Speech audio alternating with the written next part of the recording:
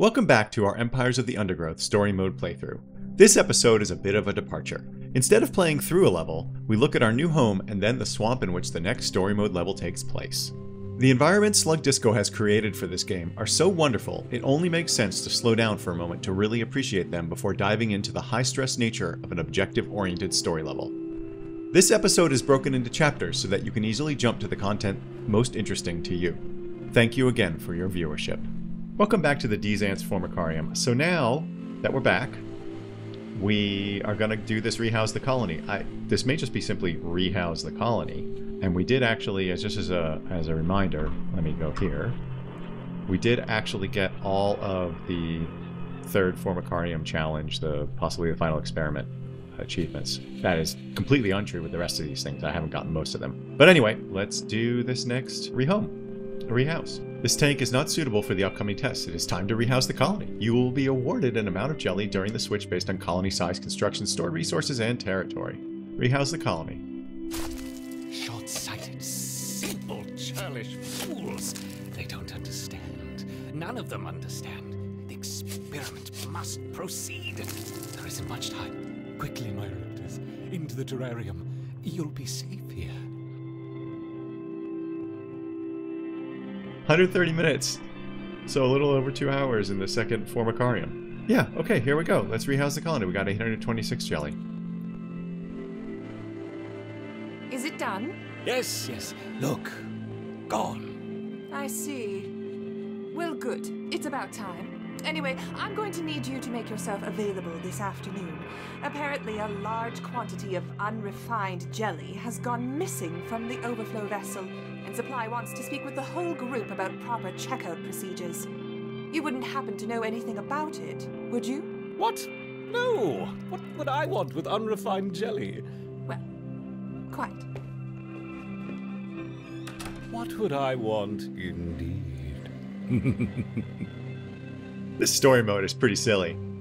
Um, but that's okay. Silly is okay. Let's see what this notification says. Your queen and a few workers have been moved into a new terrarium ready for the next experiment. All territory, construction, and food have been lost, but you have been awarded jelly based on your prior colony size and resources. Okay, so now we have 1214 jelly. Let's, and of course we, we keep the upgrades that we had. Ooh, and we're going to get a new ant, a fire ant. Wow. Uh, Solenopsis invicta is inexpensive and attacks both with its jaws and stinger, but it's not inexpensive in jelly. 500 jelly, that's crazy. We got another notification. You've gained access to two more levels and a new Formicarium challenge. In these, you play as the invasive fire ants. Formicarium Challenge 3 can no longer be repeated. That's okay, that is the one we completely demolished. Uh, so, why don't we send one of our friends up outside yeah, we're going to excavate to outside just to see what it's like.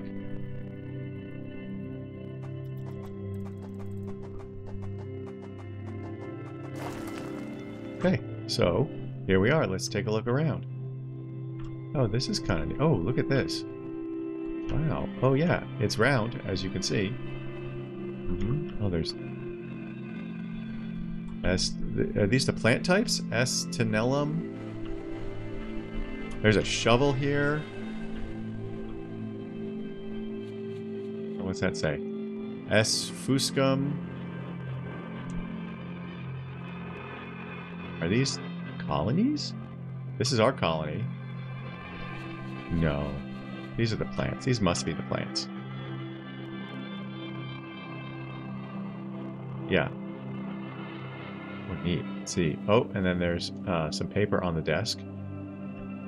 And then there's another, some sort of planter thing here. I like how the camera goes up and down. Some beakers, some sort. More plant. It looks like we're going to get connected to these things at some point. There is a mug with a funny looking karmic spider on there. What else can we see? This is a ridiculous tour. I know. I don't know how many of you are interested in this, but I like looking around. I think it's ridiculous. I like. I also like to see the details that developers put into these things. Empires of the Undergrowth. John K. Connor. Oh, I wonder if these are the developers. I haven't looked. Okay, here's another flask of some sort. Um, yeah, this There's something over there. Okay, and then I think we looked around the whole terrarium. Let's see what's down here. Maybe I missed something. Nope. Oh, okay. We can't see what that sign says at this angle. Okay, cool. Cool, very neat. Alright, let's, uh...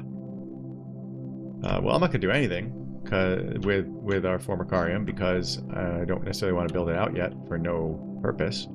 I like the idea of a round one. And I wonder what all this... Oh, that's right. Okay, yeah, I like the idea of a round one. Okay, so... You know what? Let's try something, though. Let's try... See this stuff here? Let's see if we can send an ant over here. Nope. So I was right-clicking it. It was making that funny noise. That was the sound of me trying to get in there, but we can't get in there. So, okay. Let's go... Whoops. Let's go back down. Uh, let's go to our queen. She's right here. Hello, queen. How are you? We are going to try Cold Blood 4.1. Carving out an existence at the edge of, the, of a swamp will not be easy for this fire ant colony. Okay, let's give it a shot. Oh, you can see the stingers on them. Cool. Okay, we've got pervasive. Ants will become free to hatch if the egg has been on the tile for a short period of time before hatching. At level 3, the tile can support two ants. Whoa, that's cool. I don't, at this part I get, after, ants will become free to hatch. Oh, if it's been sitting there long enough, it won't take any food to hatch it. Hey, that's pretty neat in an emergency situation. Wow, look at that bug. Oh my god, look at that bug. Vigorous. Upon hatching, the ant briefly receives an attack damage, speed, and resistance buff. At level 3, the tile can support two ants. So, in both cases, we can support two ants on a tile. This one is basically an emergency situation. We get free hatching. And in uh, this situation, essentially an emergency situation, like the colony is under attack, we our our friends that hatch will be buffer. I'm gonna try pervasive because my challenges have often been I run out of food and I can't ha can't hatch anymore. So this would give us some free units. Okay, here we go. Cold Blood. This Solenopsis invicta fire ant queen has landed on the edge of a swamp. She may be far from her native habitat, but the fire ants are well known for their ability to adapt. Competition for food will be fierce. She will need to raise an army quickly to compete with the local predators. The fire ant soldiers will bite opponents causing physical damage. However, they will also periodically use their stinger which deals much higher venom damage. Most of their damage comes from the stinger. Pervasive fire ants will become free to hatch if the egg has been on the tile for a short period of time before hatching. Refrain from attacking enemies until most of your tiles are glowing, indicating the hatching has become free. The slow larva of the checkered beetle has higher health and damage than many other small creatures. Interesting. The big-headed ant soldiers will hold their own but don't pose too much of a threat. However, if the colony feels threatened, they may begin producing a more dangerous caste. Ooh, interesting. Fire ants can form pontoons, floating bridges across water, allowing them to reach otherwise inaccessible islands and areas. Placing a marker down in these areas will cause a bridge to form. The water must be the same height as the desired location. That is super cool. There must be enough ants in the group to complete the pontoon, then others can cross it. If the water changes height, ants that are part of a pontoon will fall or drown. If changes in water height cuts ants off from the colony, they will panic and quickly die. Oh, hmm. Though relatively weak in attack and defense, the bombardier beetle more than makes up for this with its boiling liquid spray. Dealing very high damage in a large area, the attack, the attack will take a long time to recharge, making it vulnerable between discharges. The colony lies in the shadow of a great titan to the north an American oh, bullfrog. No oh, this wow. large female has found the perfect spot to feed. Sheltered by foliage and Look in the path that. of many wandering insects and smaller amphibians, she has no reason to move on. Eventually, oh. she will need to be displaced, but for now, the fire ants have more pressing business to attend to.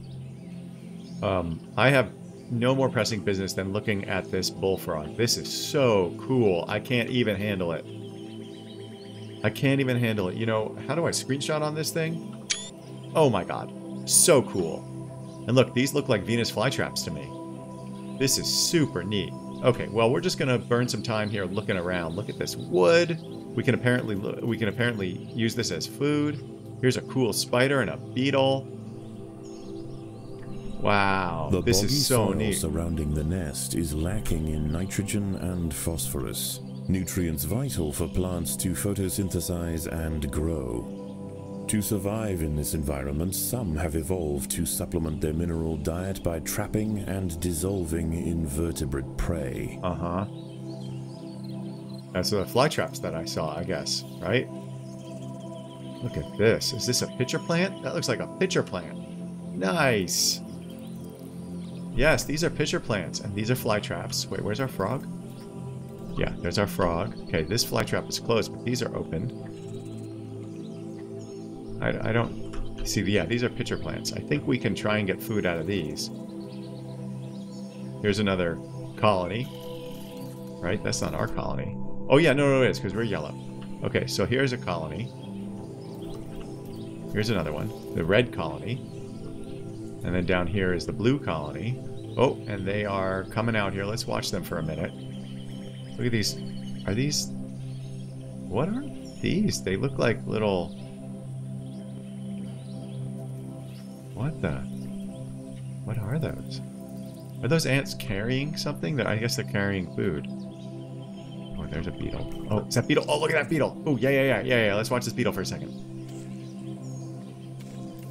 Yeah, a it's small fine. colony of Pheidole morrisi big-headed ants have established themselves on a hill to the west. What? Scavenging for seeds, aphids, Oh. and dead insects, they are unlikely to pose a threat to the Invicta colony if left undisturbed. Oh, no, this is... Okay, which one is our colony then, if this is not them? Are we the blue? No, because we just saw guys coming out. Are we the red? Let's find out. Oh, red for fire? I don't know. Let's find out. We'll just... Yes. Yes, we are. Okay, very cool. Hold on, I'm not done looking around. That was awesome. This is so cool. What a cool area. There's a spider, pitcher plant. Oh, man. Oh, oh, oh, oh, oh. That spider's hanging out on the pitcher plant. That's like a double death thing. And what's this? Is there something coming out of here? Hiding? Oh, this is so cool. I can't even handle it. I can't even handle it. Something's dying over here. Oh, look at that. Oh, look at that. Oh, those ants took out that beetle.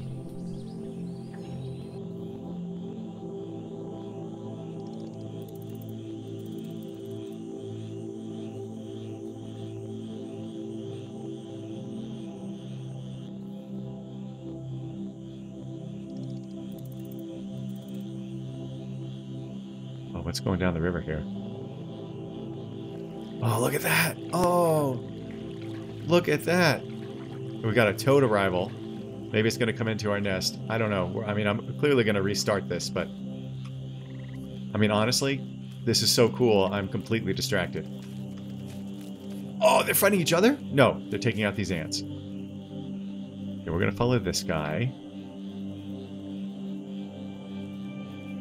Oh my god. What? What? What? Amphibian attacks will increase in intensity as time goes on. Work quickly and don't let your let down your guard. Victory may not be as simple as it seems. Well, victory is going to be very tough for us because um, I'm not even playing right now. I'm just looking around. The eastern narrow-mouthed toad will eat ants with its tongue, each one adding to the duration of a healing effect. Additionally, it can scoop multiple ants into its mouth at once. At night, eastern narrow-mouthed toads patrol above ground looking for food. Ants make up 75% of their diet, so the small colony must stay alert. To make matters worse, they are excellent diggers. It's only a matter of time before one tunnels its way into the nest.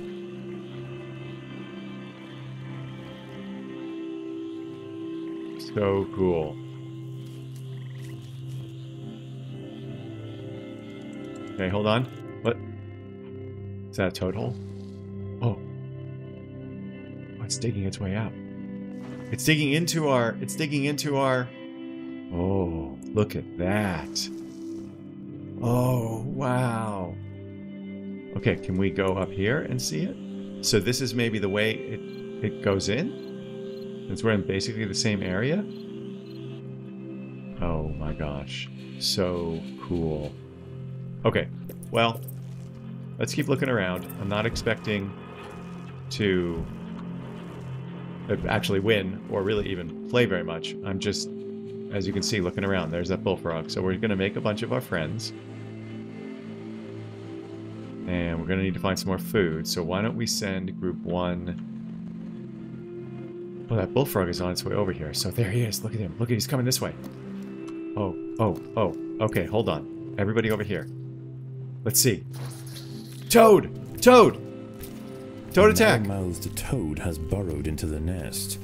It may be small for a toad, but its appetite for ants is insatiable. Secretions from its skin burn any that manage to escape its projectile tongue. Yeah, we are not even damaging it. The colony is starving. Yeah, There's not enough food to feed the new brood. right, right. He's gonna come for our queen. Why don't you take these guys? Come on. These worms are tasty looking, aren't they tasty looking? Oh, did he kill those? Oh my gosh. Look at that. Look at that. Oh my god, there's another one.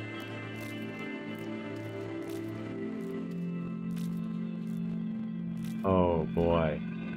That is so cool. In case you couldn't tell, I was bowled over by the swamp. What a great setting. Please return tomorrow when we attempt level 4.1 Cold Blood. In the meantime, please remember to spay or neuter your pets.